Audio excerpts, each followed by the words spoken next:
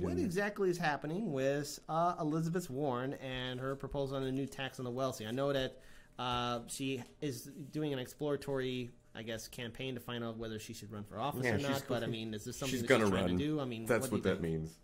Um, and this, I mean, this is definitely the kind of proposal that um, gets a lot of attention because now she's a candidate who's running for president, and this is a policy idea, policy proposal that can be part of her platform, and it's so perfectly in line with sort of her brand of progressive politician. She's an anti-wealth inequality, not just income income inequality, but wealth inequality. So this is she's really the only person to, as the Intercept points out, take up uh, Thomas Piketty's uh, idea from his book Capital in the 21st Century, which is basically the book that informs us that hey, guess what? In this current world, existing wealth can generate more wealth than any amount of labor or entrepreneurship can.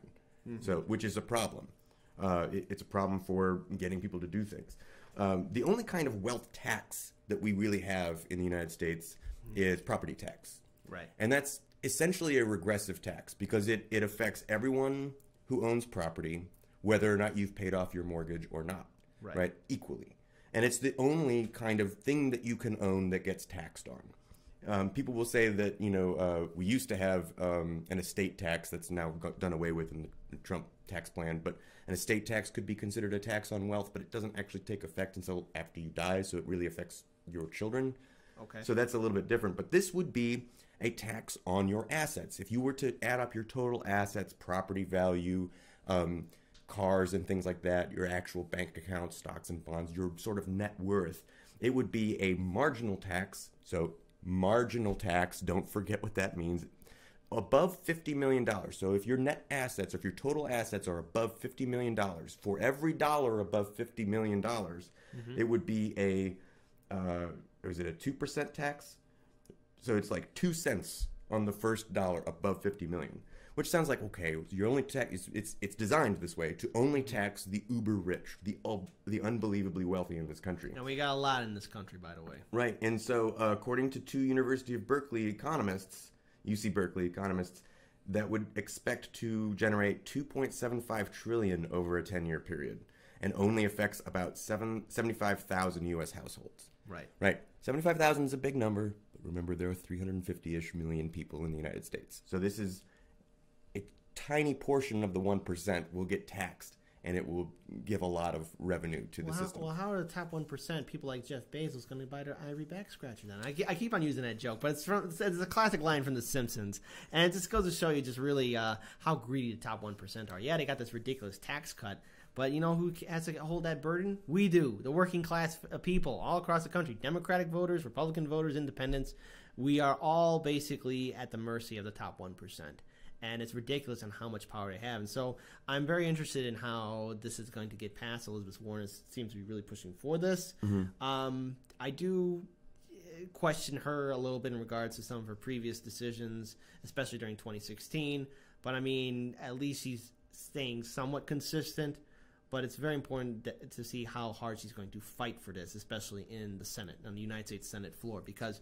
Um, Well, she we- hasn't written any legislation yet. Okay, it's really at this point just a proposal. Okay, so she's offering this proposal. So when she writes the legislation, that's going to be key, and the wording in it too. Right. And how hard is she going to fight for it? Because if she really wants to be taken seriously by progressives and independents and any other potential voters, how hard are you going to fight for this? If this is something you really care about, then you got to really push forward for it. And I, I, I encourage her to do what is needed to get something like that passed. I really like this legislation, but here's the, mm-hmm. the thing that kind of I'm cautiously in support of it.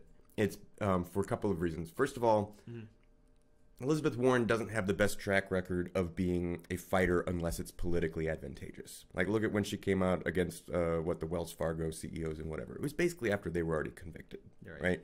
I look at when um, she voiced uh, full-throated support for the water protectors at the Dakota Access Pipeline on the day that Obama required an environmental impact survey and was able to temporarily halt the construction of the pipeline. Right. She had six months prior to that to voice any kind of support. She knew it was going on, but, But do you want to know who stood with the Dakota Access Pipeline uh, support? Jill Stein Jill Stein, and Ajamu Baraka, and also Tulsi Gabbard. and Tulsi Gabbard. That's Yeah. right.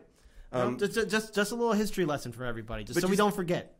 this is the other thing about this particular policy proposal that I kind of scratch my head at is, yeah, I do want to impose more taxes on the uber wealthy. Um, and I know that income tax alone is not going to do that. I know we need to close loopholes, and a wealth tax is an interesting concept. But ultimately, in the back of my head, I go, wait a minute. In America, we have a fiat currency.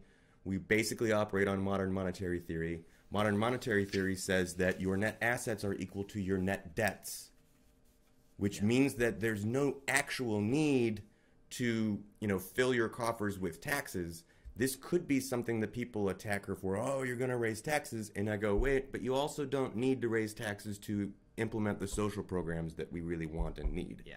So I'm conflicted on this because I like the idea. I'm not sure it's necessary, but I like the idea. I don't know. I, will have to keep thinking of it. It's a You know, weird and- one for and- me. and- And, and- I don't necessarily things- trust Warren that Right. she's genuine about how she'll fight for this because she, to me, has a track record of just making political hay when it's convenient. Yes, and we look. We also cannot forget another history lesson. She turned a blind eye to the election fraud that happened during the 2016 primaries between Senator Bernie Sanders and Secretary Hillary Clinton. And so I, I want I, I, I want to follow through with this story to see where it leads. And I hope, I really hope, at least if Elizabeth Warren wants to be taken seriously, she should fight for this tooth and nail. Take a page out of Alexandria Ocasio Cortez's book, and uh, you know actually fight and don't be afraid. And you know actually stand up against the neoliberal establishment system. People want strong political leaders. That's why people like alexandria ocasio-cortez. That's why people like senator bernie sanders. That's why people like tulsi gabbard because they fight and they don't back down. So you know and i'm just naming just three elected officials because these are the most notable ones that the corporate media likes to attack. But there are other uh, strong progressives too that are making uh, and fighting for issues too. I just want elizabeth warren to put as just as much effort that all of them are doing right now too. I wanted to point out before we move on also, um, one of the things in her policy proposal I think is interesting is she has some prescriptions for what to do with the money as well. Right. Um, she wants to put it into basically a universal dividend, which would operate very similar to the way that um, what are the the the oil um, money that ends up going to uh, people who live in Alaska, the subsidy that the, Yeah. the citizens of Alaska get due to um, oil companies operating there. It would be similar to that. It would basically she wants to be she it's very uh, it's a very socialistic sort of policy. It's a very sort of egalitarian, help spread the wealth kind of idea, and I like that. I'm just skeptical of Warren. Yeah, and Captain sometimes. Jackson, Radical Syndicate, also uh, mentioned some things. So Captain Jack said that the wealth tax ain't going to do shit, which is interesting. I mean, I, I, you, you probably have a point there, man. I, and I, you know, we, we got to see. So let's just find out. It's not gonna what- recapture any offshore So, wealth. so, so so right now this is the proposal. Let's see what the writing is in the legislature, and and if it turns out to be weak, well, then Captain Jackson, you are absolutely correct. Then, and then another thing too is. uh Radical Syndicate said Warren was once a Republican, and she didn't even endorse uh, Bernie, even as a Dem. So that's that's interesting. I want to look into that. I, I never heard that before.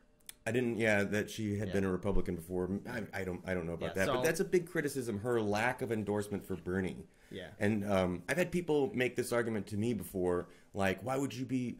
Why are people down on Elizabeth Warren for not endorsing Bernie when Bernie himself endorsed Hillary after you know he lost the primary? And it's like we're mad at Elizabeth for not en- endorsing Bernie during the primary. Yeah. Right? It's not that we're mad that she endorsed Hillary after the primaries. We're mad she didn't endorse Bernie during the primary. Yeah, exactly it. And so I don't know. It, was- it's there's there's a lot of things to question. So hold all these candidates accountable. So you know that's We're that's the one thing. Holding that thing up and kind of trying to scrutinize it and go, are Yeah. we seeing this thing right? Do you see any blemishes in that? Oh, what do you see there? That's what we're doing. Something we, Yep. we see something. So it's it's just another thing we got to cover and talk about. She was Republican before 1996. Prior to 1996, All she was a Republican. All right, Daniel that was says. Daniel Where did, off did you see camera. where you looked that up? I'm gonna look up a little more. Okay, he's going to do a little more research for All us. All right, So to be continued. Radical Syndicate. Uh, you were on point. So there we go.